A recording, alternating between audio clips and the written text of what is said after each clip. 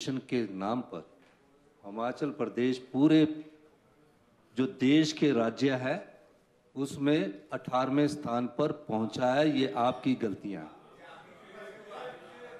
ये आपकी गलतियाँ। और एक और मैं आपको कहना चाहता हूँ।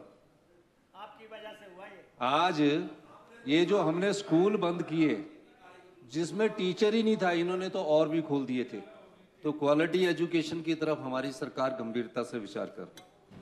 हम शिक्षा के क्षेत्र में ड्रास्टिक चेंजिंग लाने के लिए आगे बढ़ रहे हैं और हम जहाँ भी अपने स्कूली बच्चों को अच्छी शिक्षा ग्रेजुएशन लेवल पर अच्छी शिक्षा यूनिवर्सिटी लेवल पर अच्छी शिक्षा, नए कोर्सेज चाहे एआई है, चाहे मशीन लर्निंग है, चाहे डाटा साइंस है, उस दृष्टि से हमारी सरकार कार्य कर रही है और 18 महीने में ये परिणाम है कि हम क्वालिटी एजुकेशन में जो 18वें स्थान पर है, उसमें और स्ट्रेंथनिंग करने की हमारे हमें ज़रूरत है। और जहाँ भी, और जहाँ भी अटल अटल जी के नाम से जो भी स्कूल खुले हैं, हम देश के किसी भी प्रधानमंत्री के नाम से खुले हुए स्कूलों को ना तो बंद करने जा रहे हैं और ना ही किसी प्रकार से उसमें किसी पैसों की कमी रखने जा रहे हैं। चालीस करोड़ में एक स्कूल बन गया। हमने जो नई पॉलिसी लाई है, Rajiv Gandhi day boarding school के नाम से हमने लाई है। बच्चे को पढ़ाएँगे, गवर्नमेंट स्कूल के बच्चों को हाई एंड एजुकेशन देंगे high end technology based education से आगे बढ़ेंगे। अब किसी चीज़ को परिवर्तन करने में थोड़ा समय लगता है। आपके जो स्कूल है, उनको भी चलाने के लिए हम व्यवस्था कर रहे हैं और इसमें कोई दो राय नहीं है। जैसे कि विनोद जी ने पूछा जैसे जैसे काम खत्म होता है, हमने, हम पैसे देते हैं। 19 करोड़ रुपया इनके धर्मपुर के मेरिट मड़ी कॉलेज में मड़ी स्कूल में खर्च हुआ था इनके समय। हमारी सरकार आई, हमने देखा 21 करोड़ रुपए की और पेमेंट वहाँ मड़ी स्कूल में हमारी सरकार ने की। विनोद जी के स्कूल में है, विनोद जी के स्कूल में जो काम रुका है, क्यों रुका है या चलना है, उसमें भी हम पैसे दे रहे हैं। तो जो और तीसरा स्कूल कुटलैड में है कुटलैड में भी है, हम चाहेंगे कि जो आप आपके स्कूलों के पैसे वो हम देंगे। लेकिन जो हाल शिक्षा का आपकी सरकार करके गई है, उसमें सुधारने में थोड़ा समय लगेगा और मैं आपको इस मंच के, इस विधानसभा के पटल के से आश्वासन देना चाहता हूँ।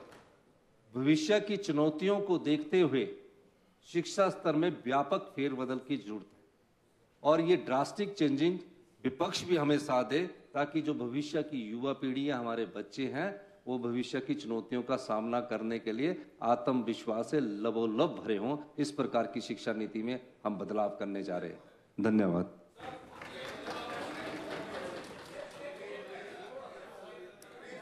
लास्ट सप्लीमेंट्री माननीय सदस्य श्री जयराम जी लास्ट सप्लीमेंट्री। माननीय अध्यक्ष महोदय आपके एक तो प्रश्न का जवाब ही नहीं दिया गया। और दूसरी बात अध्यक्ष महोदय कौन से का नहीं दिया आपकी सरकार ने अभी दो साल नहीं हुए प्रदेश का तो भट्ठा बिठाया शिक्षा विभाग का तो बुरी तरह से बिठा दिया। शब्द उचित है नहीं है मुझे मालूम नहीं मैं कह रहा हूँ। लेकिन आज के परिप्रेक्ष्य में इस शब्द का इस्तेमाल करना पड़ रहा है। आप शिक्षा के इन इंस्टीट्यूशन को बेच रहे सरकार ने बनाने के बाद इनको प्राइवेट सेक्टर में ऐड दे दी है आप लोगों ने। और जिसको आप छुपाने की कोशिश कर रहे हैं अध्यक्ष महोदय। निविदाएँ बुला ली है हमने। आपके टाइम में होटल और उसके बाद अध्यक्ष महोदय आप एक मिनट आप मुख्यमंत्री जी आप बैठे। कौन सी ऐड दी है? अध्यक्ष महोदय ये आदत पड़ गई पालमपुर एग्रीकल्चर यूनिवर्सिटी की ज़मीन को बेचने का इंतज़ाम हो गया है। वहाँ पर होटल खोल रहे हैं टूरिज़्म विलेज खोल रहे हैं। जहाँ बच्चों के आप शिक्षा की बात कर रहे हैं शिक्षा के स्तर की बात कर रहे हैं। अटल अटल से रिलेटेड ज़मीन को बेच रहे हैं आप।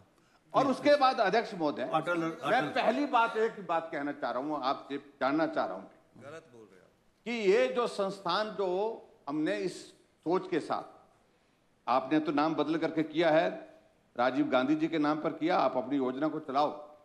लेकिन भारतीय जनता पार्टी की योजनाओं को बंद करना और नीलाम करना ये मेहरबानी करके आप जो है सुनिश्चित करो इसको बंद करें। क्या आप इस बात का जवाब देंगे?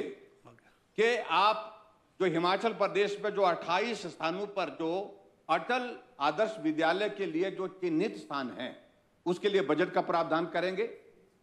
और उन सभी स्थानों पर जो योजना है, उस योजना के मुताबिक पैसा दे करके वो भवन बना करके तैयार करेंगे, ताकि शिक्षा के स्तर के बारे में अगर आप सही मायने में चिंतित हैं, उस चिंता में हम भी शामिल हैं। हम भी उसमें